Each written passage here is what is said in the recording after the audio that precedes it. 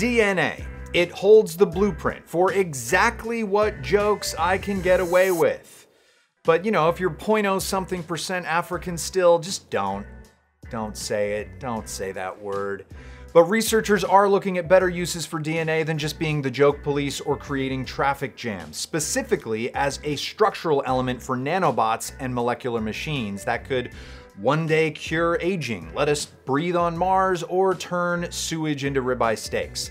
One of the leaders in this space is Professor of Biophysics Hendrik Dietz. He recently gave a TED talk about the incredibly exciting progress happening in the field. So first, you should know that state-of-the-art bio-nanotechnology isn't really that exciting. It's actually kind of rather boring. Oh, okay, not the best nanotech salesman. Wait, no, I get it. This is the famous German sense of humor. Classic dry German setup. This is gonna be good. It's like working with stone tools, but on the nanometer scale. It's like people go out into nature, they pick something up that's lying around, they take it and whack it against something else. There you have your tool.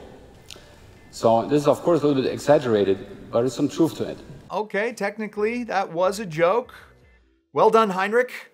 Now that the ice is sufficiently broken, please commence the scientific flabbergasting. I want to show you uh, a modern um, molecular structure that has been self-assembled from designed DNA sequences. So you can see here um, four different types of shells that we have built. Tiny blue balls that could one day travel inside your tiny blue balls to start or stop the production of sperm, controlled via smartphone. I mean, yeah, I just made that up, but that's exactly the kind of thing you'll be able to do after this field hits the knee of the curve.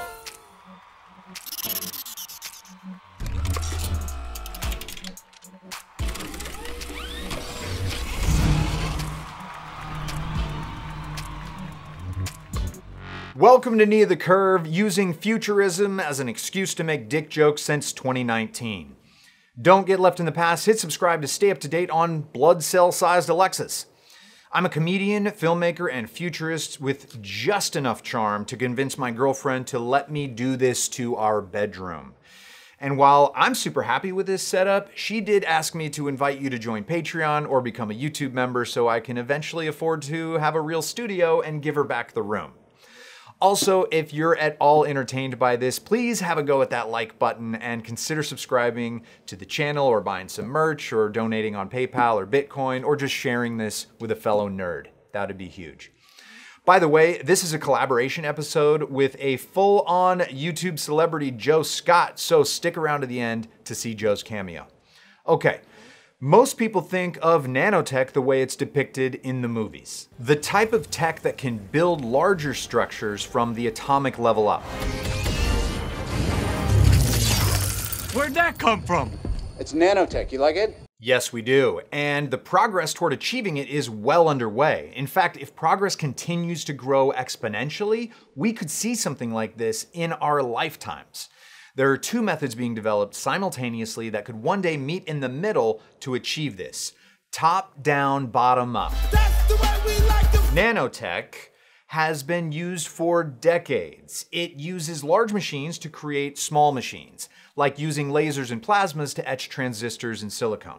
This process has led to the exponential shrinkage of chips that simultaneously get faster while using less power, prompting Ray Kurzweil to predict this. Technology is getting smaller and smaller at an exponential rate. 25 years from now, computers will be a billion times more powerful per dollar.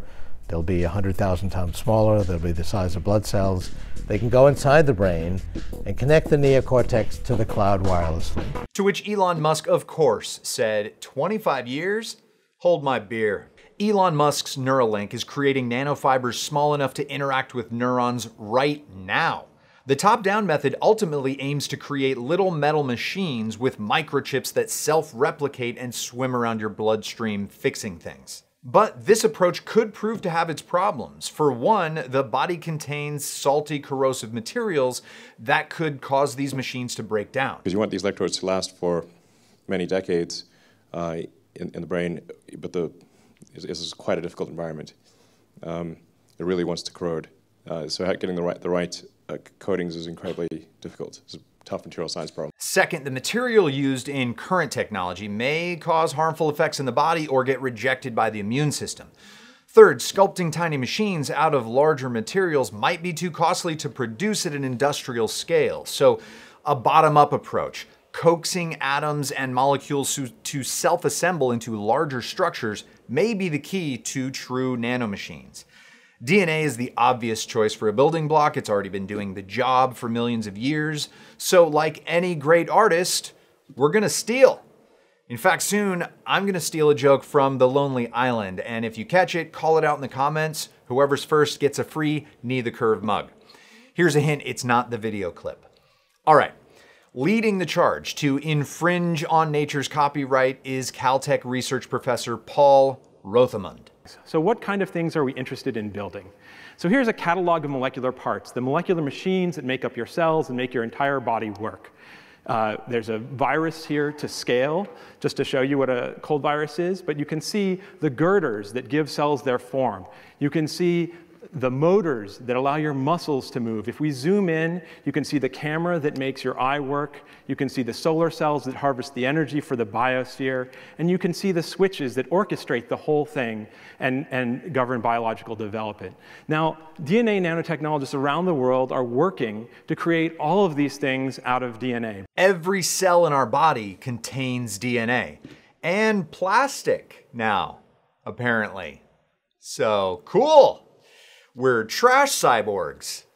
I was hoping for something more badass like Kevlar skin, but okay, that's a start. DNA has a twisted double helix structure made up of two strands zippered up together by four molecules called nucleotides adenine, thymine, guanine, and cytosine, which we will just call A, T, G, and C. Because time is precious. Maybe once we have nanobots that can cure aging, we can indulge ourselves by taking the time to fully pronounce the entire words, but for now, so we don't get old, it's A, T, G, and C. All of these molecular machines, including DNA, are formed and carry out their functions because of basic physics. So, the key to creating machines at this scale is a first principles understanding of how the molecules function. Once we can manipulate that, it'll be a little like magic. There's an ancient and universal concept that words have power, that spells exist. In fact, what you can do at the molecular level is that if you encode information, you encode a spell or program as molecules, then physics can actually, actually directly interpret that information and run a program. That's what happens in proteins. When this amino acid sequence gets pronounced as atoms, these little letters are sticky for each other. It collapses into a three dimensional shape that turns it into a nanomachine that actually cuts DNA. There are many ways of casting molecular spells uh, using DNA. What we really want to do in the end is learn how to program self assembly so that we can build anything. That's exactly how I thought my instant pot would be, but so far I've only been able to make chili from a can. The DNA zipper only zips because of the molecular bonds of the ATG and C molecules. A's on one strand always pair with T's on the other strand, G's always pair with C's. It's a chemical thing, just like how cheerleaders always pair with jocks and goths always pair with other goths. Bad example. But every 13 year old knows T and A go together, and then the other two go with each other. It's process of elimination. Anyway, these bonds dictate exactly how the DNA folds up. This DNA origami is called DNA origami. And what we're going to do is we're going to add short strands, which we call staples. And each one of the staples has the following form. It has a left half and it has a right half. And the left half binds in, in an ATCG pairwise way, the Watson, famous Watson-Crick binding, it binds one position on this long strand. And in the same Watson-Crick pairwise way, A pairing to T, C pairing to G, it binds a distant, lo distant location. And it brings those two distant locations together. It enforces a constraint, and that's our crease. And the net action of 200 of these things, making all kinds of creases, fold this long strand into some shape, for example, a rectangle. Besides DNA origami, the big brains over at Harvard have turned them into Legos. The pin of one brick is able to plug into the hole of another brick. But only if the DNA sequences of the two strands that make up the pin and the hole are complementary. The blocks self assemble, connecting only in areas where the DNA sequences complement each other. So, what have the best and brightest scientific minds decided to make with this biological wizardry? I designed this fold. We design them in a computer program. It spits out a list. We send the email to a company in Iowa. They have a robotic chemist called a DNA synthesizer. It builds up these 200 strands, A, C, G, T, and they send back in FedEx 200 strands. You get 50 million DNA origami in a single tube. Cool. Smiley faced cancer. Really dropped the ball not making those Pac Men and ghosts. But this was just 2016 proof of concept stuff. Remember, this is how small nature's machinery is, but this is how big those smiley faces were. More recently, we've been able to make boxes for when a gift needs given. See, I'm wise enough to know when a gift needs giving, and I got just the one. But instead of delivering unsolicited penasia, It's a plural for penis that I invented today. instead of that, these containers are targeted for use as part of a drug delivery nanobot. It encapsulates the drug of interest, and the idea is it's supposed to open if and only if it touches a cell that's the one that you want to deliver the drug to. And indeed, it really looks like this. You put a drug in the box, and the only thing that can open it is the cancer it's sent to cure. Hyper targeted drug delivery would cut down on side effects like how chemotherapy wreaks havoc on healthy cells, which everyone knows sucks a bag of dicks. Is it like a paper bag and they're sticking out like baguettes, kind of like you went shopping? Easy, Louie. And this is not just a theory. In 2018, scientists from China's National Center for Nanoscience and Technology and Arizona State University verified this by injecting mice with a DNA nanobox, and they were able to successfully shrink tumors. Some very near term goals for this tech are nanobots to maintain cells in the body and even adding functionality like repairing DNA, removing blockages in arteries, and providing blood clot capabilities. But our boy Hendrik has a special dream. So my dream is one day to build a rotary motor, and on a nanoscale, we don't have that yet. But maybe things will, you know, improve a lot once we have those. The motor we're all familiar with is the sperm cell's flagellum, but our bodies contain tons of really strange motors. Some of them include motors for synthesizing ATP, the energy molecules of our cells. There are also transporter molecules called motor proteins that carry stuff around within the cell by walking across filaments that are like your cell's rigging. There's little dudes walking around your DNA. That is so much more impressive than just a smiley face. In fact, this is what happened when the smiley face saw that. Basically, the way it works is that a chemical reaction occurs at one foot, which causes the back foot to release from the surface, and then the molecule rotates to take a step. These reactions keep occurring in series between the two feet, and it creates a walking motion on the nanoscale fibers in the cells. This is essentially the most elaborate domino chain possible. That's what life is. The only thing crazier is how close we're getting to duplicating this tech. Researchers in Japan have used DNA origami to create motors that stimulate muscle contractions. Researchers from Emory University and Georgia Institute of Tech created the world's fastest nanomotor that goes up to 100 nanometers per minute with a horsepower of 0.0000000. You get it. Essentially, the same horsepower as a new Geo Metro. But it's not just research. Synthetic biology companies raised over 12 billion in venture capital. Some of the most exciting stocks are companies like Twist Biosciences, whose price is up over 117% since the world decided biotech was something worth caring about. If DNA nanobots are the gold in a new gold rush, Twist's business model is selling tiny picks and axes. Meet a streamlined way to order the DNA you want online. If you have a design for a new DNA nanobot, you can order all your component parts from Twist. They're just one company in a fast growing field of startups trying to do for evolution what Amazon did for retail. Not destroy it, make it easier, more convenient, and accessible. Point click abs. Point click blue skin.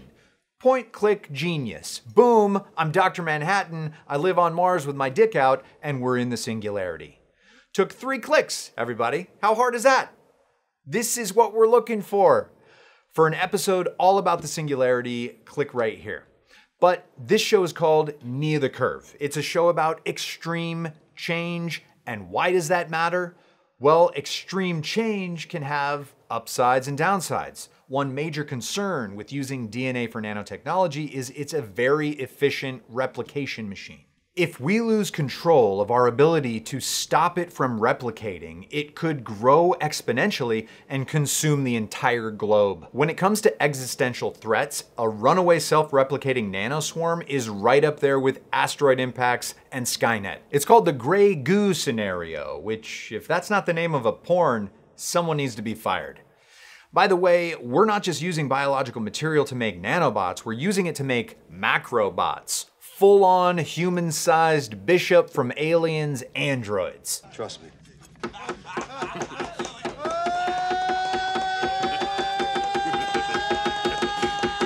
My buddy Joe Scott, who, look, if you know about me and you don't know about him, then I don't understand the YouTube algorithm at all. But Joe and I coordinated our topics this week, and he's just uploaded an entire video on biological macrobots. Right, Joe? Come on, What are you doing, man? Come on. Joe! Whoa! Joe! Uh, yeah, so go watch Joe's video. I'm sure he's fine. Joe, you good? Blink twice if you're safe. I'm, I'm fine. I'm fine, Emmett. It's cool. Yeah, just uh, go ahead and send your people over. Will do. Also, I have to mention the skeleton for this episode was constructed by one of my Patreon supporters. I just kind of cyborged it. Brad wrote a perfectly reasonable script, totally good, but my Dr. Frankenstein ego had to go in and cyborg the shit out of it. More dick jokes!